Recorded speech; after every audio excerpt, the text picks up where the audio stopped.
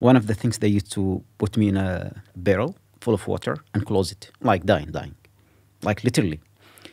And one day they said it is we're going to kill you. You are not value enough, so they put me in a an empty barrel, like they close it and they rolled it. Cold winter, and I heard the sound of shotguns.